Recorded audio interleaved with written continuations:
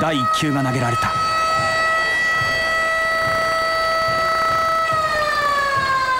続く2球目。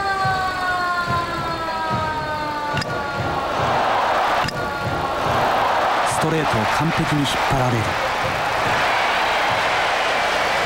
速球が走らない。いや流行る気持ちを抑えているのか。2番達坊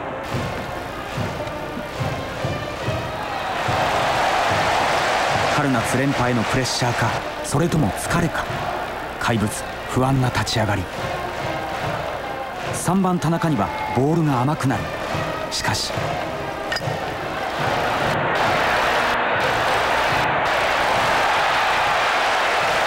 れが怪物の貫禄なのか。一方京都帝将はここまで一人でマウンドを守ってきた左腕古岡素晴らしい立ち上がりを見せる。後藤見逃しの三振。上々の滑り出し古岡。そして古岡のピッチングに触発されたのか。松坂が徐々に目を覚まし始めた。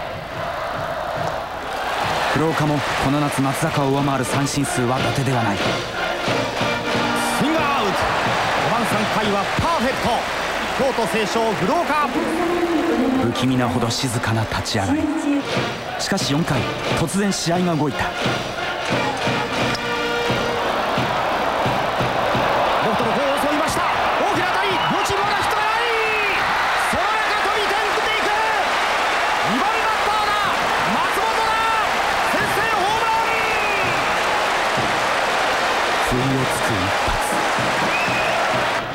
打順が一回りした横浜打線は古岡をじわりじわりと攻めてくる。見事な右狙い松坂。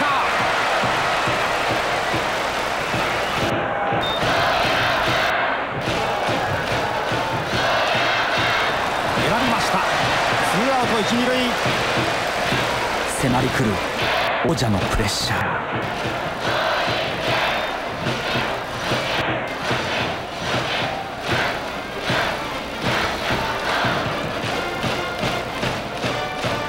打席は6番小池。カウント2-3捕球ストライ踏ん張りました古岡。見事なインサイド攻めでした。ここはしのいだ古岡。しかし1点をもらった松坂はその怪物ぶりを遺憾なく発揮し始めた。4個目の三振を奪いました松坂。京都スペシャルに付け入る隙を与えない3つ目の三振で松坂ノーヒットピッチングが続きます。5回横浜はヒットのランナーを送ってワンアウトランナー2塁。バッターは9番佐藤。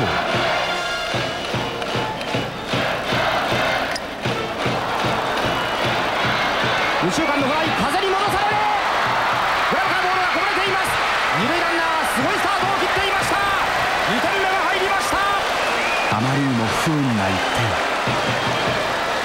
なおもピンチが続く。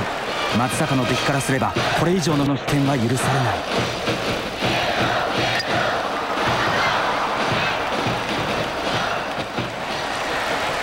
2点差で切り抜けた古岡ここで京都清少ナインはベンチの前に集まり気持ちを一つにした。しかし2点のリードをもらった松坂が徐々に調子を上げていく。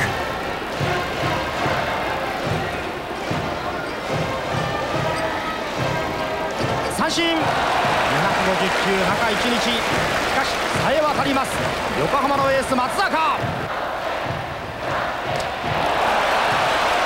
この夏50個目の三振を奪いました松坂。京都清少は6回を終えてもノーヒット。さらに7回。ショートはいいところを守っていた。グラブを差し出す。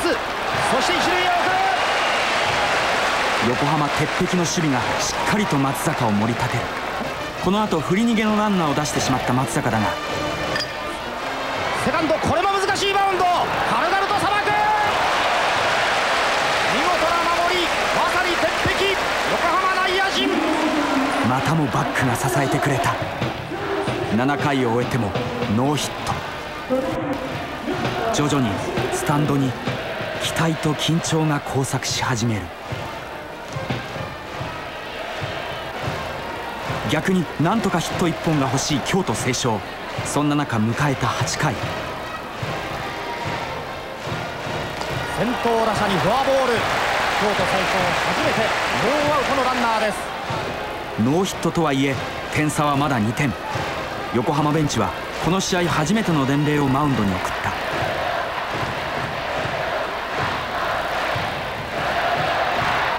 一方の京都成章にとってはようやく2日間チャンスまずはランナーを送りたい。しかし。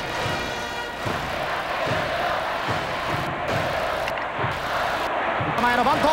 セカンドへ送る進塁を許しません。松坂。セカンドベース上へも剛速球でした。京都成章に立ちはだかる大きな壁。ランナーを送ることさえもできない。さらに続く7番三富の打球も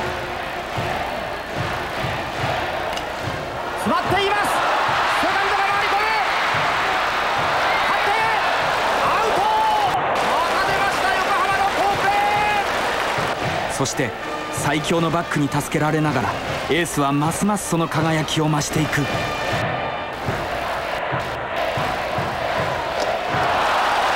三振を奪っ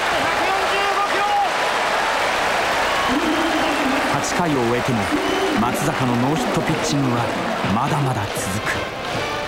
一方京都成章の古岡は8回に1点を追加されたが味方の反撃を信じ最後まで粘りのピッチングを見せた。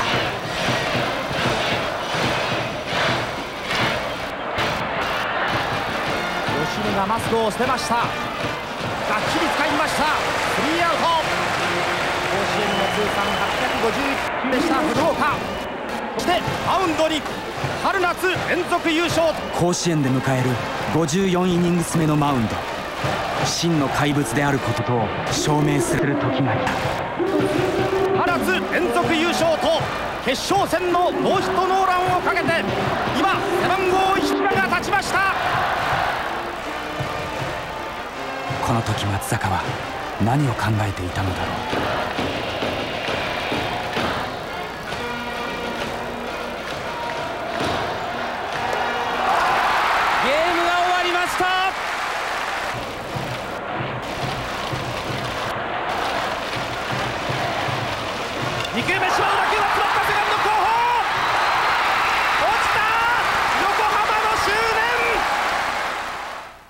決して平坦ではなかった。ここまでの道のり。松坂はチームの優勝をそして大記録の達成を目指してこの夏最後のマウンドに立った。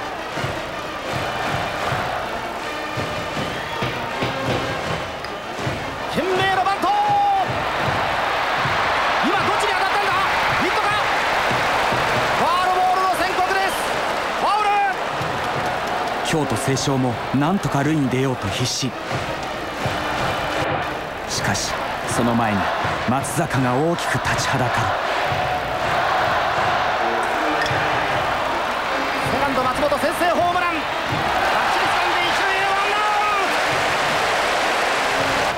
打順がトップに帰ってキャプテン沢井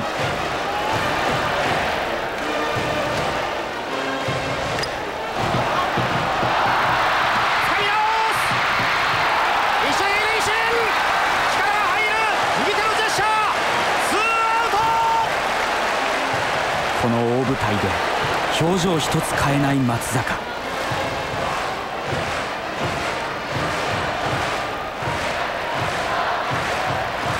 やはり彼は怪物だ。よく選びました達坊松坂今日3つ目のフォアボール。しかし依然ノーヒット。ボールカウントはツーエンドツー。いよいよ連続優勝まであと1球。そしてノーヒットノー